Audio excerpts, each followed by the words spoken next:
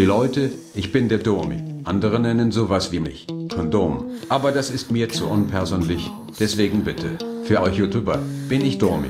Danke. So, und jetzt erzähle ich euch mal was aus meinem Leben. Als Kondom. Sorry, Domi. Fritzchen fragt seine Oma. Oma, was ist ein Wichser? Sagt die Oma. Sag ich dir, wenn wir zu Hause sind. Fritzchen fragt wieder, Oma, was ist ein Kondom? Die Oma antwortet, sag ich dir, wenn wir zu Hause sind.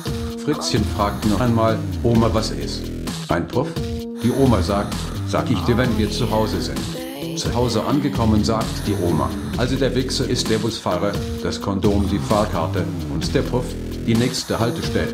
Am nächsten Tag steigt Fritzchen in den Bus und sagt zum Busfahrer, Hi, du, Wichser, gib mir mal ein Kondom und fahr mich zum nächsten Bus.